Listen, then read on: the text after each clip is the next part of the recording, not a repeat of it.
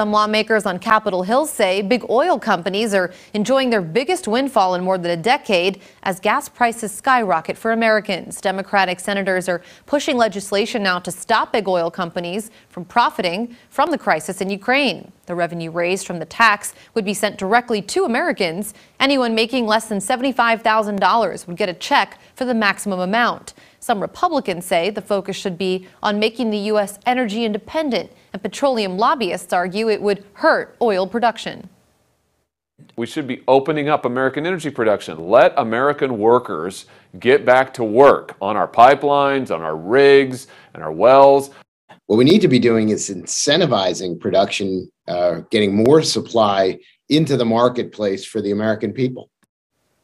The legislation would require large oil companies to pay a tax on each barrel of oil they produce or import. Smaller oil companies, however, would not have to pay that tax.